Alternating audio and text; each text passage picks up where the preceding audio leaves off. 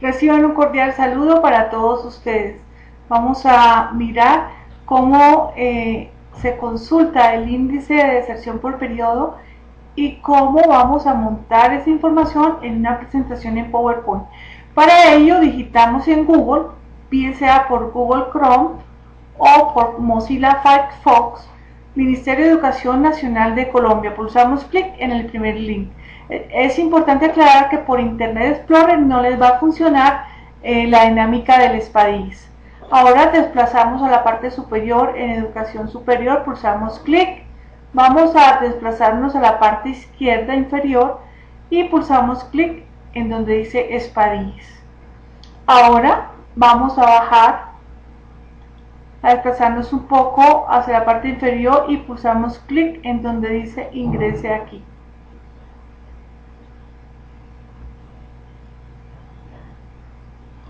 Nos aparece este entorno, vamos a pulsar clic en consulta personalizada y en la parte izquierda va a aparecer un menú. Con este menú es el que nosotros vamos a trabajar para consultar la información. Vamos a pulsar clic en el signo más en donde dice características de las instituciones educativas. Luego vamos a pulsar clic en el signo más de donde dice institución. Vemos pues que todas las instituciones de educación superior en Colombia están seleccionadas, pero solamente queremos la información de la Universidad La Gran Colombia. Para ello pulsamos clic en la palabra institución para quitar esa selección. Ahora vamos a desplazar esta barra derecha hacia la parte inferior a buscar el código 1808 que es el código de la Universidad La Gran Colombia vamos a pulsar clic en este código que es de la universidad vamos a desplazar nuevamente esta barra hacia la parte inferior y vamos a buscar programas académicos. Características de programas académicos y vamos a pulsar clic en el signo más. Luego vamos a buscar programa académico y vamos a pulsar clic en el signo más.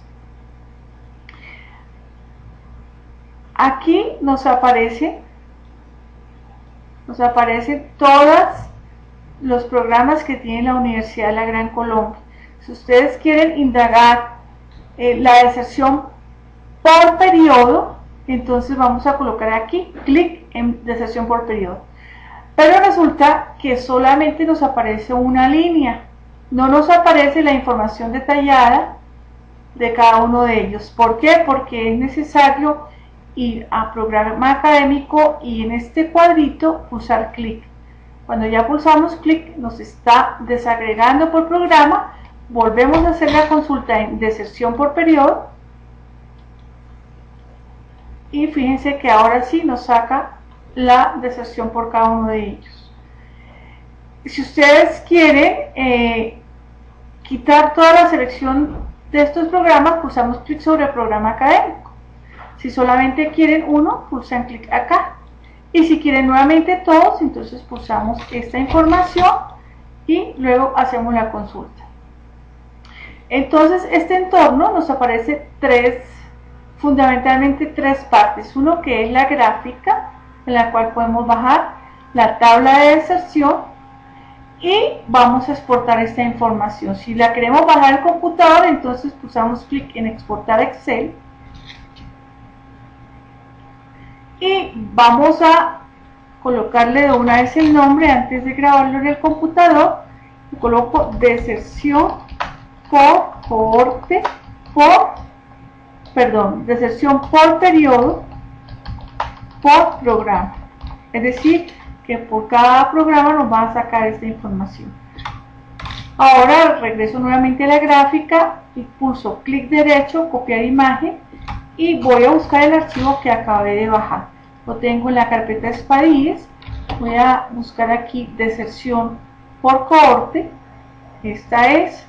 Y voy a pegar con control V o clic derecho pegar la gráfica que está. Entonces, eh, normalmente el Ministerio de Educación requiere cinco años atrás de la fecha de consulta que tengamos presente para hacer un análisis por realizar un análisis de deserción o de ausencia intersemestral. Para este caso, entonces, mm, vamos a, vamos a mirar, vamos a ampliar aquí un poco esta columna para que podamos ver bien. Entonces resulta que la información no la arroja toda de manera continua. Tenemos que empezar a abrir espacios para organizarla y poderla colocar en PowerPoint. Para ello entonces voy a abrir tres filas, insertar tres filas y voy a colocar aquí deserción por periodo le voy a colocar Universidad La Gran Colombia. Bien, como realmente nos exigen los 5 años, entonces voy, pulso clic en 1968, voy a ir hasta 2004-2. Sigo posicionada en esta columna y le digo ocultar para que me oculte la información desde el 2008 porque solamente requiero del 2005.1 a 2011.1. Noten aquí que enseguida viene arquitectura, entonces ¿qué voy a hacer? Me ubico en la columna, arrastro e inserto, clic derecho, insertar, filas, porque aquí voy a colocar fuente, es decir, de dónde traje esa información, a colocar Espadíes Web noviembre 25 de 2011 aquí me quedó un error. Lo editamos y colocamos 2011 bien ahora entonces eh, voy a hacer esta primera tablita y de la misma manera entonces vamos a empezar a desagregar esta información para colocarla en PowerPoint. Entonces, me ubico en deserción, pulso la tecla Shift y avanzo con la, con la flecha. Una vez identifique hasta donde quiero llegar, pulso clic en combinar. Nuevamente lo voy a hacer combinar.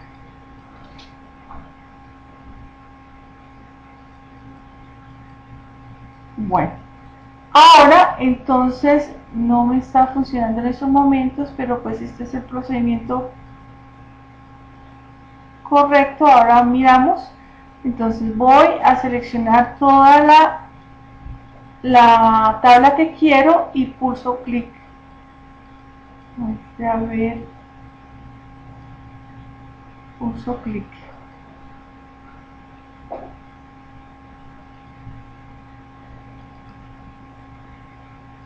pulso clic en deserción y arrastro y le digo combinar luego en la primera celda y le digo combinar. Ahora entonces aquí voy a los bordes le coloco cuadro grueso.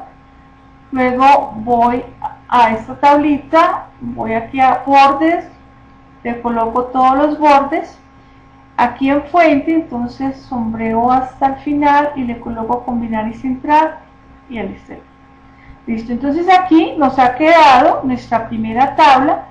Ahora voy a ampliar la letra porque como es para PowerPoint voy a ponerla más o menos en 16 pero noten que se desborda. Entonces aquí pulso clic en el límite de la columna. Aquí también. Y aquí también. Doble clic para que nos ajuste la información.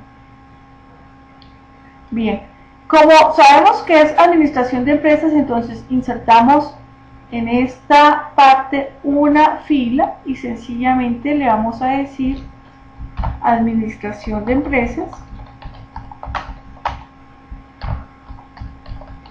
2011 eh, perdón 2005 1 a 2011 1 pulsamos en luego arrastramos con el cursor y pulsamos combinar y centrar.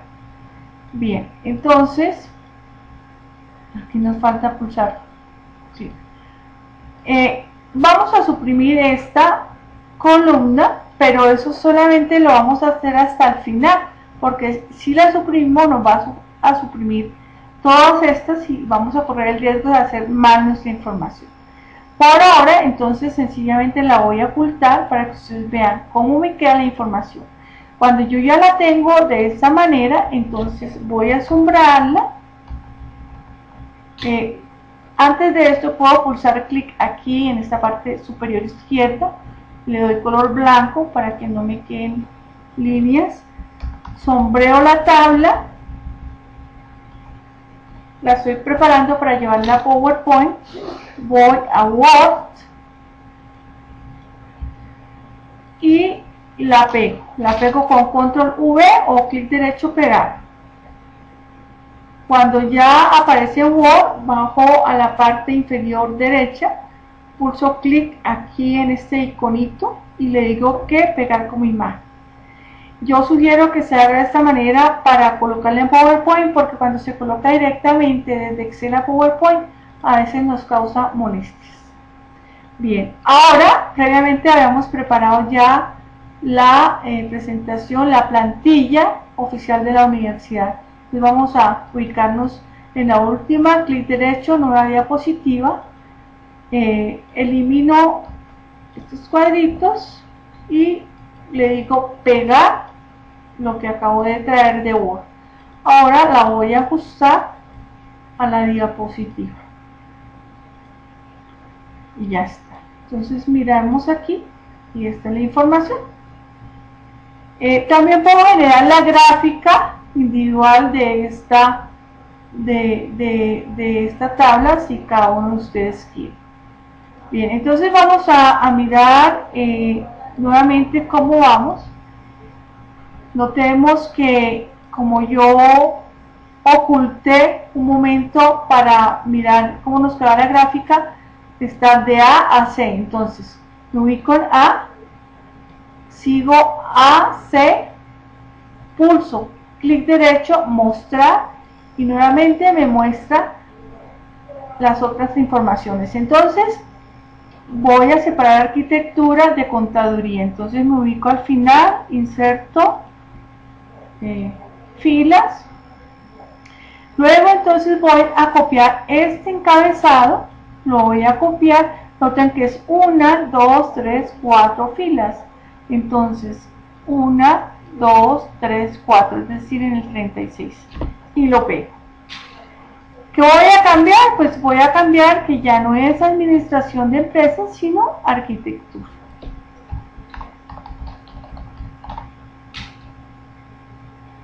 Arquitectura. Y ya.